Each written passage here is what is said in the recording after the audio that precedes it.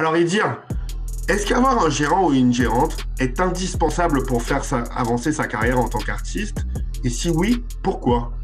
Ben, avoir un gérant est absolument primordial pour faire avancer la carrière d'un artiste parce qu'à un moment donné, un artiste va se rendre dans un point dans sa carrière où que sa musique aura ramené beaucoup de buzz et beaucoup d'engouement et il va être rendu à un spot où il n'aura pas le choix de déléguer et s'entourer de personnes qui pourront l'aider à structurer puis à, monter une stratégie pour faire avancer sa carrière. Fait que dans le fond aussi, un, un gérant, ça aide à mettre un buffer entre lui et l'industrie. Donc, la gérant prend la place pour pouvoir défendre les intérêts de l'artiste. Et je pense que c'est primordial parce qu'à un moment donné où est-ce qu'un artiste se rend compte et il commence à avoir des offres de contrats d'édition ou de, des contrats d'artistes avec les maisons de disques, c'est important d'avoir un intermédiaire qui peut défendre ses intérêts et puis séparer l'artistique du business, peut l'aider à structurer et monter une stratégie pour pouvoir le faire avancer dans sa carrière. Et aussi, là, le gérant ramène une espèce d'expertise parce qu'il comprend plus tout côté business que l'artiste, malgré qu'il y a beaucoup d'artistes que je connais qui sont très, euh, très knowledgeable de,